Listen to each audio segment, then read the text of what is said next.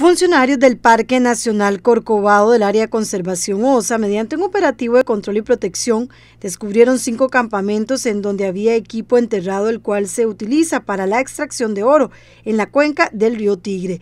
La extracción de oro es una práctica ilegal estipulada por la Ley 6797 del Código de Minería.